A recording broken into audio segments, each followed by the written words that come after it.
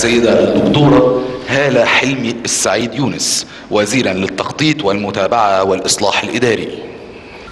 أقسم بالله العظيم أن أحافظ مخلصا على النظام الجمهوري وأن أحترم الدستور والقانون وأن أرعى مصالح الشعب رعاية كاملة وأن أحافظ على استقلال الوطن ووحدة وسلامة أراضيه. السيدة الدكتور